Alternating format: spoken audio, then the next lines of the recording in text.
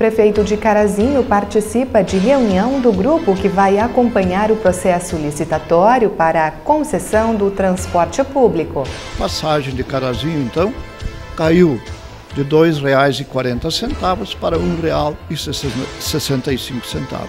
Frente Parlamentar debate ações para a Semana do Trânsito. Uma delas é o Dia Mundial Sem Carro. Convidamos todos os vereadores, os servidores da Casa Legislativa, os servidores da Prefeitura e também a comunidade. Prazo para participar do concurso Drogas Tô Fora encerra na próxima semana. Podem participar alunos do ensino fundamental, ensino médio e educação de jovens e adultos da rede municipal e estadual, em quatro categorias. Vereadores Isamar Oliveira e Hernani Leimer avaliam a crise do governo federal.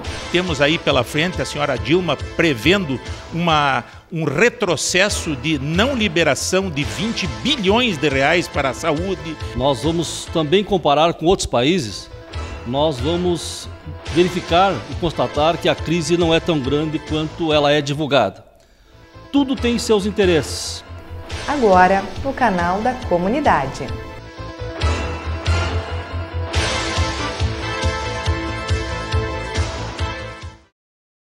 Boa noite. O prefeito de Carazinho esteve na Câmara de Vereadores nesta semana para participar de uma reunião do grupo que irá acompanhar o processo licitatório para a concessão do transporte público em Passo Fundo. Veja o motivo. Porque o prefeito lá fez uma licitação há, há pouco, aonde a passagem lá custava R$ 2,60, ela baixou para R$ 1,65. Ainda teve lá a situação de uma outorga onerosa de um milhão de reais que a empresa depositou nas contas da prefeitura, né? já que ela ganhou a licitação e isso estava previsto nós entendemos que foi um ganho para a comunidade, foi um ganho para a prefeitura de Carazinho e nós queremos que o prefeito hoje traga a toda a comissão parlamentar, a parlamentar mista, já que tem eh, membros de, da, de toda a sociedade passafundense, sindicatos, estudantes que estão participando da frente, além dos vereadores, é claro, que ele explique, que ele diga para nós e nos traga subsídios. Quem sabe nós possamos usar em Passo Fundo mais ou menos as diretrizes que foi usada em Carazinho. Nós fizemos uma licitação aberta dentro do, gabinete, do meu gabinete, janelas abertas, portas abertas, imprensa presente, para que dúvida não houvesse. E assim aconteceu. Passagem de Carazinho, então, caiu de R$ 2,40 para R$ 1,65.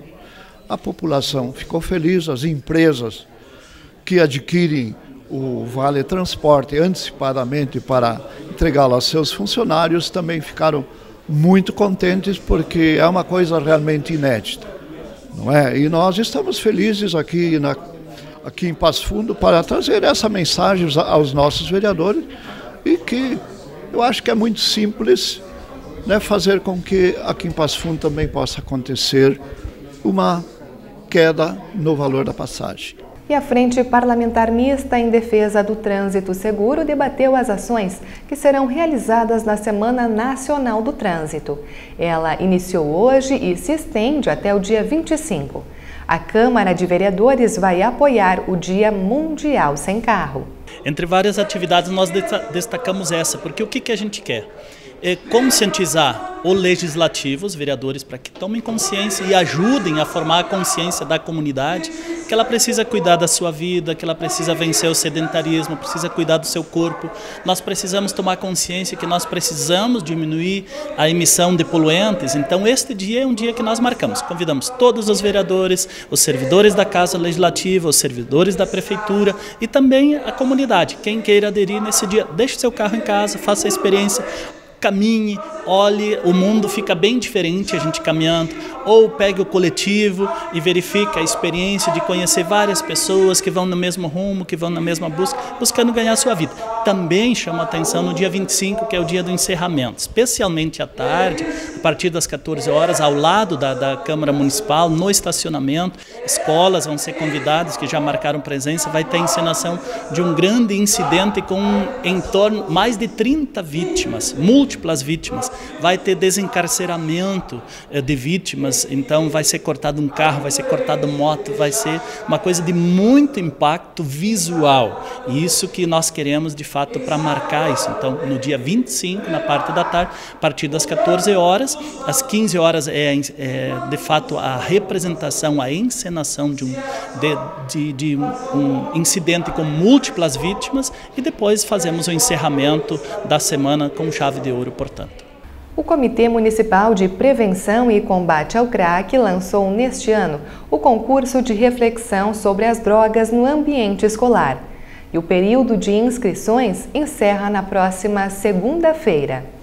Podem participar alunos do ensino fundamental, ensino médio e educação de jovens e adultos da rede municipal e estadual, em quatro categorias. Do primeiro ao quarto ano, através de desenhos do quinto ao nono ano com charges, ensino médio na produção de vídeos e o EJA através de apresentações artísticas como música, poesia, paródia e teatro. Cada escola poderá enviar dois trabalhos por categoria. O intuito do vereador Sidney Ávila, que preside o Comitê de Prevenção e Combate ao Crack, é conscientizar sobre os malefícios gerados pelo uso de entorpecentes. São 10 mil unidades de cartilhas que foram nos doadas pelo Senad para nós trabalharmos a prevenção ao uso de drogas nas escolas. Conscientizar os nossos adolescentes, conscientizar os nossos jovens dos males causado pelas drogas. E esse, e esse concurso Drogas Estou Fora, ele vai incentivar que essas crianças, junto com os professores, trabalhem essas cartilhas, elaborando cartazes, elaborando charges, fazendo um teatro, uma coreografia, são diversas atividades lúdicas, culturais, que poderão fazer com que a criança crie no seu psicológico uma conscientização que não precisa ser um dependente de droga para ser feliz. As inscrições deverão ser feitas pelo e-mail comissões@cmpf.rs.gov.br. A premiação está marcada para o dia 5 de outubro, no plenário da Câmara de Vereadores. Nós conseguimos, através de algumas empresas, uh, cursos de inglês, curso de administração de empresa, também temos vários prêmios que a Receita Federal vai nos doar, celulares, tablet, é, são uma série de bicicleta, também já ganhamos bicicleta, são vários uh, prêmios que as empresas que reconhecem o, o trabalho do Comitê de Prevenção e Combate às Drogas e a necessidade de termos a participação efetiva de toda a sociedade, estão nos procurando e se disponibilizando a doar os prêmios. E isso é benéfico para nós podermos fazer com que um número maior de alunos sejam premiados, inclusive os próprios professores também serão premiados. Está marcado para este sábado o Pedágio Solidário, que vai arrecadar recursos para a terceira edição do acampamento da criança com diabetes. Serão 20 pontos distribuídos por toda a cidade, mas a programação acontece somente com tempo bom. Em caso de chuva, ela será transferida. Ressaltando que o acampamento da criança com diabetes será realizado entre os dias 12 e 15 de novembro e as inscrições já estão abertas. Informações pelo telefone 3316 8553. O Jornal da Câmara faz agora um intervalo e retorna com os vereadores Hernani Leimer e Isamar Oliveira. Em pauta, a crise do governo federal.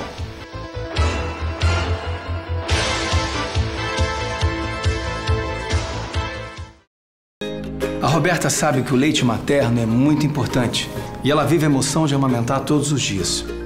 Emoção que, por sinal, vem em dobro. O leite materno ajuda a criança a crescer forte e saudável. E para tornar esse momento mais especial, conte com um profissional de saúde para escutar você e ajudar a tornar a amamentação ainda mais tranquila. Conte com o SUS. Procure uma unidade básica de saúde. Devolva, não use, não tenha. Tire uma arma do futuro do Brasil. Acesse entreguesuaarma.gov.br e saiba onde entregar. Ministério da Justiça, Governo Federal.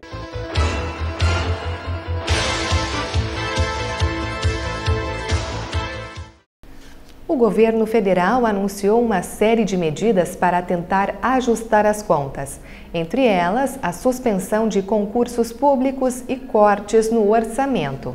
O programa Minha Casa Minha Vida e as emendas parlamentares também sofrerão modificações.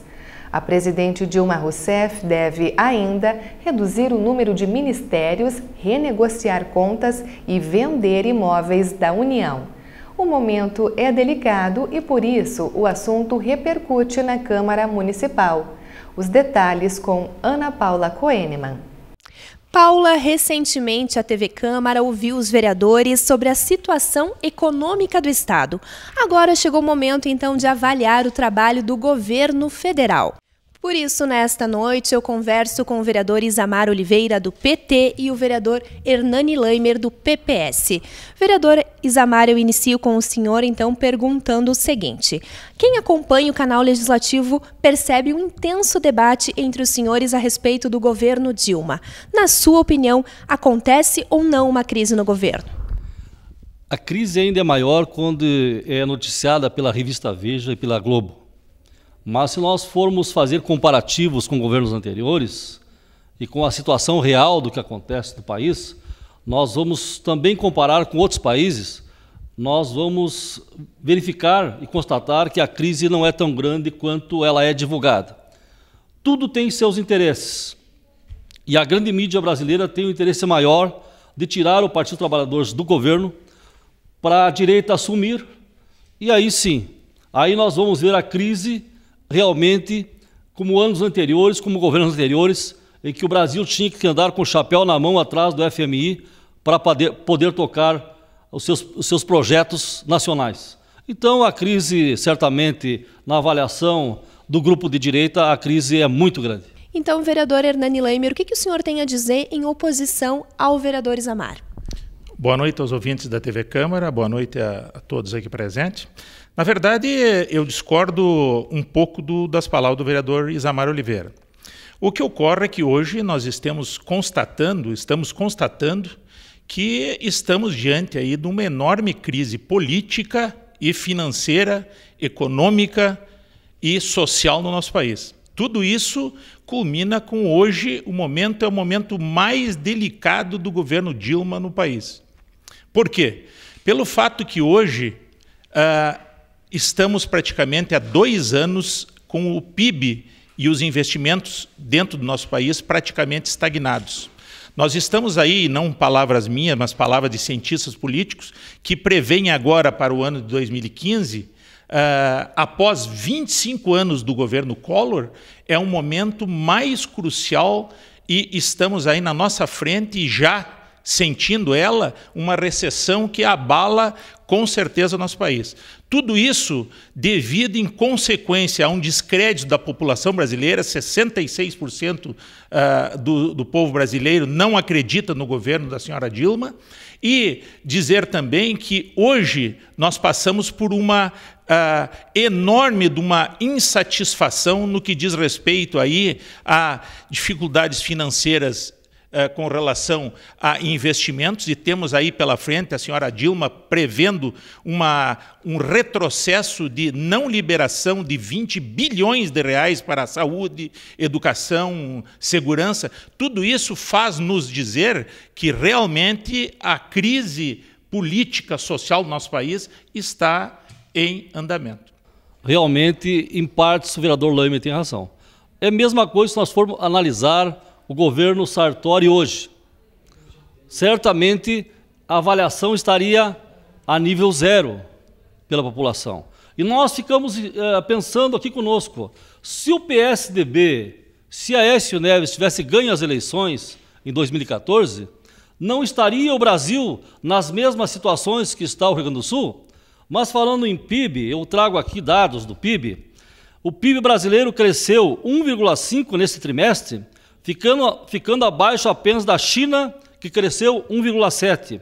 Estados Unidos cresceu 0,6. Inglaterra 0,7, Alemanha 0,8, Portugal 1,1, Espanha 0,1 e assim por diante. Então, se nós formos fazer comparativos com governos anteriores e mesmo com a situação mundial, nós vamos constatar que o Brasil realmente, a exemplo do, da grande parte do, do, do, do nosso planeta, do mundo, dos outros países, está enfrentando dificuldades. E ainda mais, as nossas reservas cambiais estão em torno de 380 bilhões de dólares, coisa que não acontecia, por exemplo, na época, na, na época FHC. Na época é, é, do, é, do Fernando Henrique Cardoso, nós não tínhamos essas reservas. Nós tínhamos era dívida com a FMI, nós não tínhamos crédito. Hoje nós temos dinheiro investido no, no, exterior. Nós temos aí a criação, inclusive, de um banco né, chamado BRICS, um banco para fazer frente a esta, ao FMI. Então, nós realmente, uh, todo o país está com dificuldades, é um ciclo que acontece no mundo todo e nós temos que enfrentar de cabeça erguida, mas nós temos saída para isso. Vereadora Nani Leimer, já foi divulgado pelo governo federal, né? A Câmara Federal, inclusive, já recebeu o projeto do orçamento do ano que vem, então, com a redução de valores, também estão previstos cortes em programas sociais. Como o senhor acha que o governo está administrando essa situação? Na verdade, é, é fato extremamente preocupante para nós brasileiros quando hoje saiu hoje na mídia que serão cortados 28 bilhões de reais na economia do nosso país. Um país que saiu de agora há pouco, aí, é, meses de eleições, eleições uh, extremamente uh, inverídicas, de propagandas políticas inverídicas, e uma, para mim e para a população, 66% do povo que não acredita no governo Dilma, sabe que foi uma, uma eleição enganosa e nós agora estamos aí uh, presenciando um fato que Hoje, a mídia diz que o Brasil não é mais um, um país honesto em termos de visão do estrangeiro para nós. A grande preocupação hoje são os investimentos, além de toda a crise que nós passamos no nosso país, deficiências de educação, saúde, cortes enormes de 28 bilhões de reais, nós nos, preocupa, nos, nos preocupamos com o fato de que hoje os investimentos do exterior para dentro do nosso país estão praticamente zerados. Isso porque propagandas políticas enganosas, uh, escândalos cotidianos, tipo mensalão, uh, uh, escândalos como petrolão, uh, roubalheiras em nosso país, isso fez com que os, os governos, o governo perdeu, vereador Isamar, perdeu o crédito perante a, a visão do exterior. O vereador Hernani, né, ele fica muito efusivo, muito é, se enche de vontade de falar quando é para atingir o governo federal. Inclusive, gostaria de lembrar ao vereador Leimer que quando houve o processo do mensalão, o vereador Lame foi para a tribuna e, e, eu disse até na ocasião que ele quase teve um orgasmo político. Mas nunca o vereador Lame falou sobre o mensalão tucano que está prescrevendo, que é o vovô dos mensalões, que é o pai dos mensalões. Nunca o vereador Lame foi, ocupou a tribuna para falar sobre a grande falcatrua, um dos maiores eh, casos de corrupção nesse país, que é a Operação Zelotes, que são mais de 19 bilhões de reais. Nunca o vereador Lame usou a tribuna para falar do HSBC, que é uma vergonha do dinheiro do, do brasileiro que foi para o exterior por vias indiretas. Agora, nós esperamos, inclusive a grande mídia não fala sobre isso e o povo desconhece isso, o grande, a grande massa, porque o PT não está envolvido nessa facatroa. Agora, a roubalheira da Petrobras, desde que se criou lá por Getúlio Vargas a Petrobras, a direita desse país vem tentando vender a Petrobras, chegaram a mudar na FHC de, de Petrobras para Petrobras, Petrobras com, com X no final, para tentar comercializar, como fizeram com a Vale do Rio Doce, entregar a troco de banana a maior mineradora de ferro e de minérios do mundo. Não é mais nossa. Era brasileira, não é mais. Ninguém fala nada. Quero dizer com toda a segurança: existe falcatrua nesses governos? Existe. Mas são de todos os partidos, basta nós ver quem está sendo condenado. E essas falcatruas, roubalheiras não começaram há 10 anos para cá. Desde que esse país foi descoberto, se rouba desse país. E a história está aí para contar. Agora, nós não colocamos nada para debaixo do tapete. Nós sofremos na carne. E nós enfrentamos e deixamos o judiciário, o seu Moro e companhia trabalharem. Apesar de não divulgarem e não, e não prenderem, não condenarem, o pessoal do PSDB parece que são isento. Mesmo estando aí o seu Aécio Neves em, em, em divulgação de delação premiada, envolvido na, na, na, na Operação Lava Jato, nunca foi chamado para depor.